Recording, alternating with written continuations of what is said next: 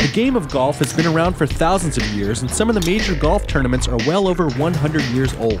While the sport of golf hasn't changed much through history, the technology surrounding the way we watch the sport has advanced dramatically.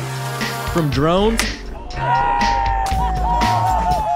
to golf course mapping technology, the game of golf has evolved into a high tech, high stakes game where every shot is tracked and uploaded to the mothership known as the server truck.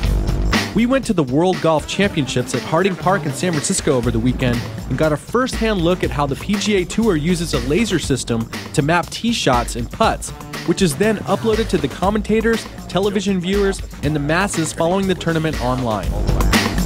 ShotLink is a comprehensive scoring system which uses lasers to survey and map the distance of a golf shot on a mapped grid of a golf course. Once a golfer hits a shot, PGA Tour volunteer then uses the laser rangefinder to measure the distance of the ball from the tee. This distance will then provide the distance to the pin for the next shot. The technology is also used on the putting green.